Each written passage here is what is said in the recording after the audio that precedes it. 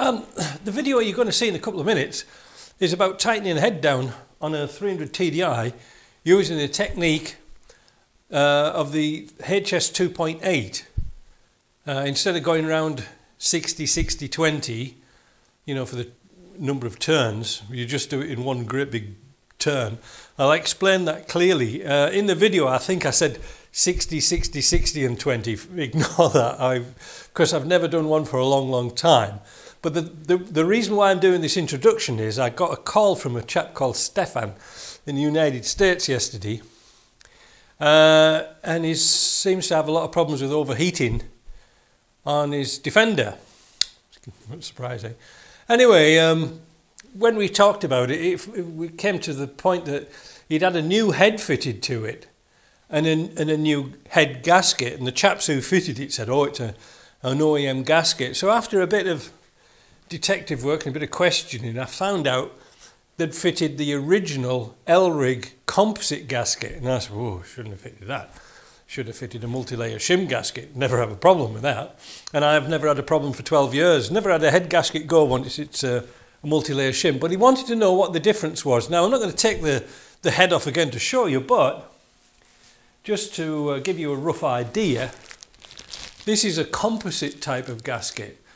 This is off a 2.5 diesel, so it's not. I, don't have the ones for the uh, 300 TDI. I threw them out, but this is a composite, and it's made out of. I don't know what the hell is it made out of?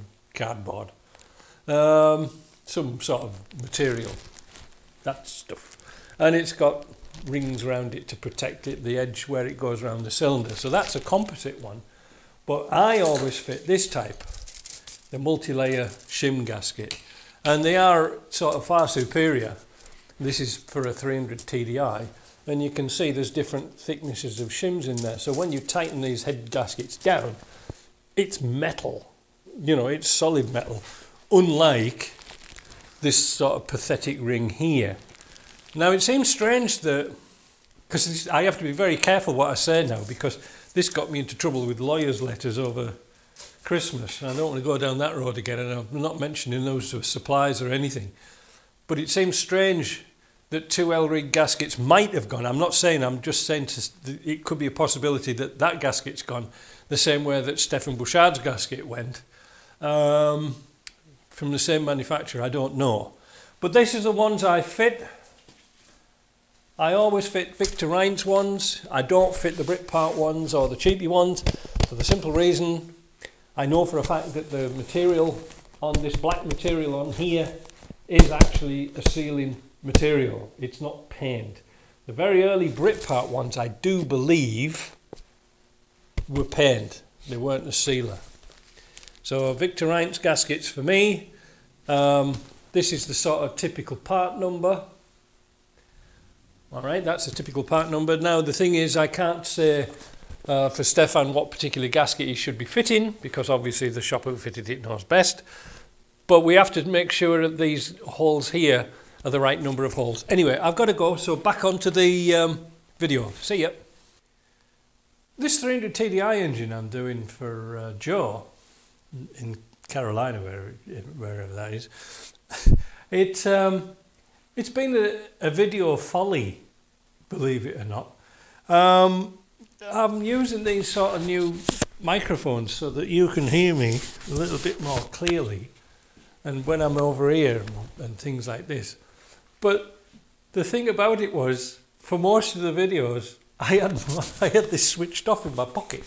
It's got a little light on it, but I didn't I couldn't see it when it was in my pocket. So most of the videos, uh, you I'm going. It's like Charlie Chaplin movie. So anyway, I'm got, what I'm going to do is I'm going to piece together a few bits of the highlights and things I found and try and do a voiceover to just salvage. I've got the video, I haven't got no voice. Oh, and another thing, when I was messing about with this, I was started off with doing two cameras and my favourite camera fell on the bloody floor. The, the airline caught around the tripod and fell over. I think I can rescue it. I'm not sure. It's got some stripes on the screen. We shall see. But today's video is uh, thanks to Patreons because I've lashed out and I've spent some money. I know, I know. You're spilling your beer now.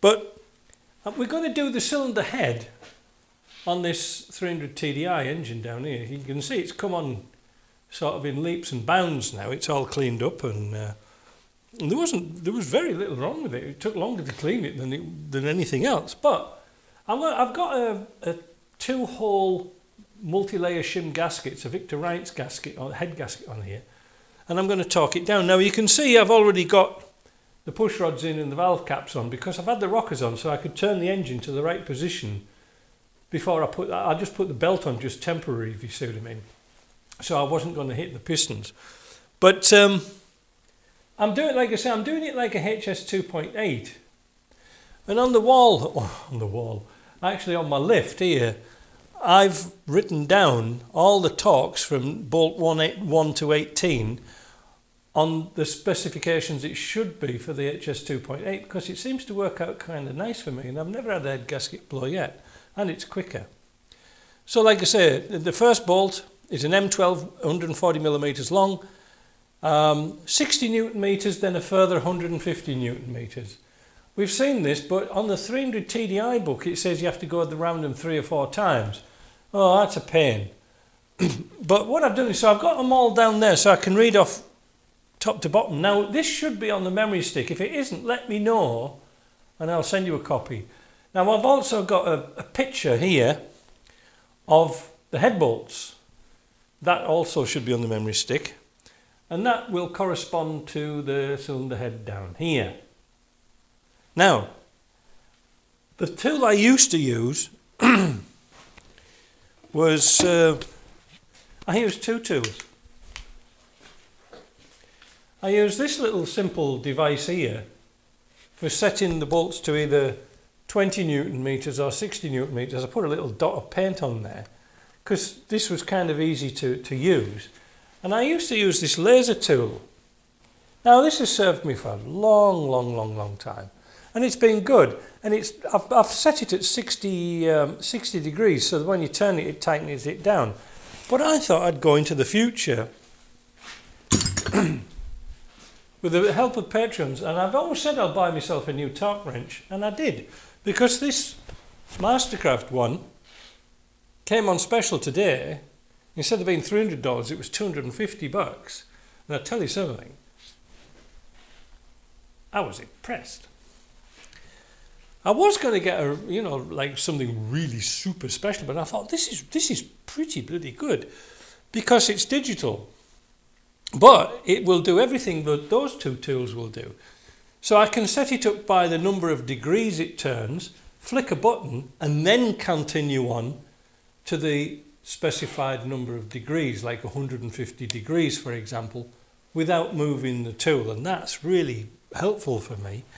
Um, I'll see if I've got my original tool in the box over here. I don't think I have, but I'll have a look. No, I, I must have I must have thrown it away because it felt a bit uh, I'll put a picture up here and show you it. It was one of those white plastic things with a dial on. Oh man, they were hopeless. You can never really get them accurate. So what I'm going to do is I'm going to show you what, why, how I do this. Now, the HS 2.8s had a better system. They, had, they already had a multi-layer shim gasket. And considering it's the same or similar block and similar head, there's no reason not to use it. Um,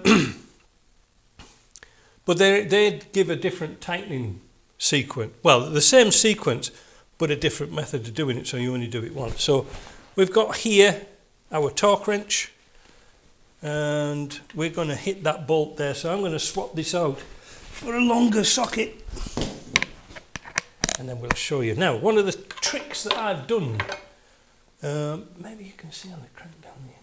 I don't know if you can see on the crank down there, I've got a strap attached to my lift because if you've ever done one of these on um, on an engine stand, not in the car, in the car it's kind of easy, but if you've ever done one on an engine stand, it's like Torvill and Dean, you're going all over the bloody place, skating around trying to hold that and counteract 150 degrees of uh, twisted motion. So it's, it's fastened around there, so it works out quite well. So let's have a look at this and see how this goes. So first of all, we're going to turn it on. Right, so we're going to find, oh, it self-calibrates, which is a bit of a pain, but never mind, we'll, we'll work it out. Sorry about that, we've got a bit of an interruption there. So now we're going to set this to 60 newton meters.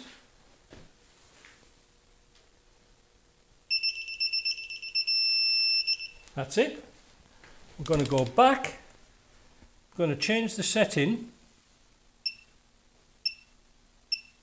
to 150 degrees. You ready?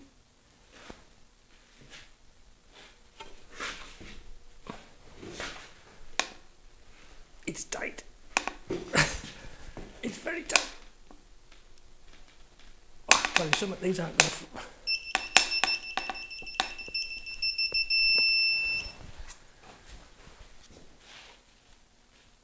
They're not going to come off. Going over a bump and your cylinder head comes off. They are quite quite a job to turn it to 150 degrees. And when you're doing it 60, 60, 60, uh, 60, 60, wait a minute, 60, 60, 60, 20, it's not so bad. But when you do it all in one go, it's kind of hard. So I'm going to get on with this, finish these off, and uh, what pointing, look at that and then we can uh, come back and do something else. But I'm, I'm really impressed with that. I like the little buzzer thing, you know, when it changes colour, so we know that we're almost there. Right, let's this rambling, let's get on. So I've just tightened down the head on this uh, 300 TDI using the HS 2.8 method. And what did I think of this Mastercraft torque wrench? I thought it was very good. Uh, there were some good features in it. One of the good features is the counter is, well, you're going to take it off that one. So if you want to go up and down, it's extremely fast counting. That's a good thing. So you don't want to mess it. You remember the old days when you used to twist the lever? Anyway, I like it because it beeps. But one thing I've noticed when you're uh, torquing bolts down, you need to put a little bit of light oil on the thread and, because it says that in the book, and under the head.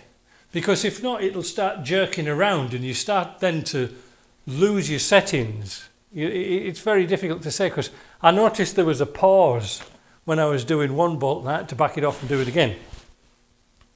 One thing I would like to have seen in this would be a memory. That would have been brilliant if it had a memory. Like so, if, so you could flick through uh, all the different settings and put it onto a memory mode and say, look, this is this bolt, this is that bolt. For now, I think it's a good thing. I don't do a lot of these heads now, and it does take a little bit of time to do, but it does take a lot of time to do it with the 60, 60, 60, 20 method. Um, yeah, no, I'm liking it. I think it's good.